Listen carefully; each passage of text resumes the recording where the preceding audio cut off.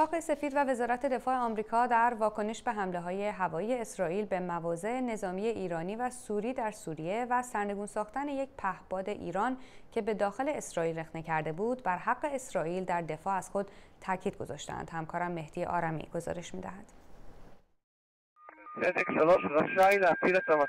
کاخ سفید در واکنش به حمله دیروز اسرائیل در بیانیه ضمن تاکید بر اتحاد ناگسستنی با اسرائیل گفت آمریکا از حق اسرائیل در مقابله با نیروهای سوریه و شبه نظامیان حمایت شده از سوی ایران دفاع می کند. کاخ سفید همچنین از ایران خواست به جای اقدامات تحریک کننده برای برقراری صلح در منطقه تلاش کند.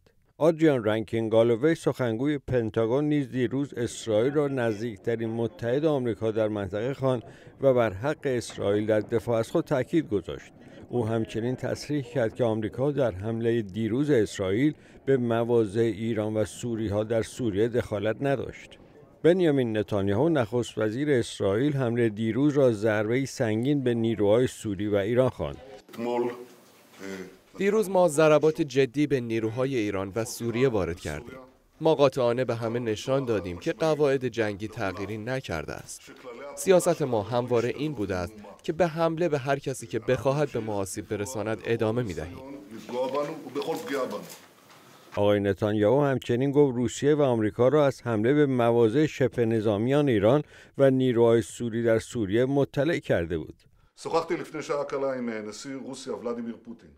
من ساعتی پیش با ولادیمیر پوتین رئیس جمهوری روسیه صحبت کردم و بر حق و وظیفه امان در دفاع علیه حملاتی که از خاک سوریه می شود تاکید کردم. ما هم عقیده ایم که هماهنگی امنیتی بین ارتش دو کشور باید ادامه یابد. من همچنین با رکس تیلرسون وزیر خارجه آمریکا درباره اتفاقات دیروز و دیگر تحولات منطقه‌ای صحبت کردم. باید تصریح کنم اسرائیل خواهان صلح است اما ما به دفاع قاطعانه از خودمان در مقابل هر حمله ای در مقابل تلاش ایران برای تقویت مواضع نظامیش در سوریه یا هر جای دیگری ادامه می دهیم. وزارت دفاع اسرائیل نیز گفت ایران منطقه را به سمت اوضاعی می‌برد که پایان آن را نمی‌داند. اسرائیل برای دفاع از خود علیه هر حمله آماده است و هر کسی که حمله کند بهای آن را خواهد پرداخت. مهدی آرمی صدای آمریکا.